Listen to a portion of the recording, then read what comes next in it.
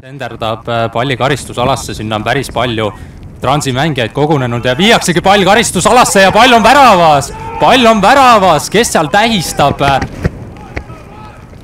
tundub, et äh, Iirie on selle värava ära löönud. Äh, Poljakov tsenderdas seal värava eest, põrkas see, see pall kuidagi Iirile, Iiriele, jah, tundub, et kõike tegi keskväljal pall.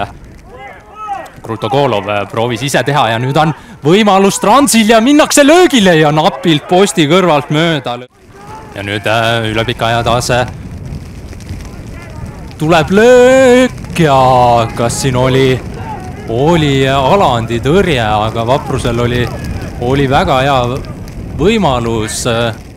eriti terav on olnud Tovitšenko Transi rünnakul, tema on mitu korda löögile pääsenud ja saab ka nüüd palli karistusalasse ja keerab ja läheb ei saa kuidagi tulla, ilm ei ole, ei ole selle vääriline ja noh, vaevalt siin ma kahtlen, et Narva Narva siin kolm-neli väravat veel lööb.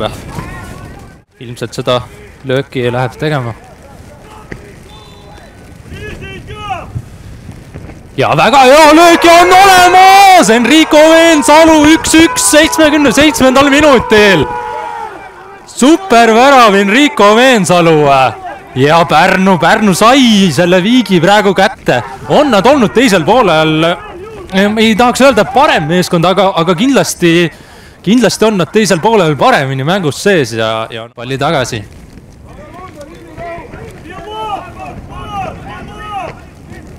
Kaljumäe kaugelt läheb löögile, aga Alant supertõrje toob alt nurgast ära.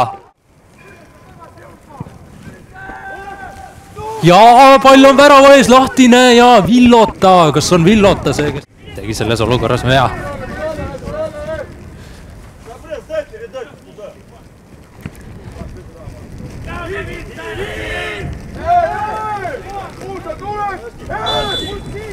ja on see pöörane mäng siin Narvas lõppenud seisuga üks-üks. oli mängu algul ilus ilm, aga see ilus ilm pööras korralikuks tuisuks ja talveilmaks. aeg edasi, seda rohkem see